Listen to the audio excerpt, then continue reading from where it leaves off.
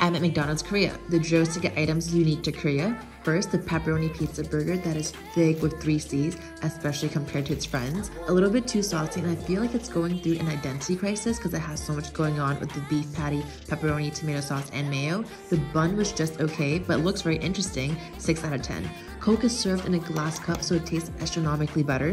7.5 out of 10. The McCrispy Classic Burger. Ooh, this was so good. The chicken is so crispy, tender, and juicy, and it uses a sweet, tangy sauce with onions, topped on a really sweet potato bun. 8.5 out of 10. The bulgogi burger, honestly disappointing because it's a lot thinner than I thought it would be, but I guess it's fine because it's under the snack section. The teriyaki soy sauce base was a little too saucy.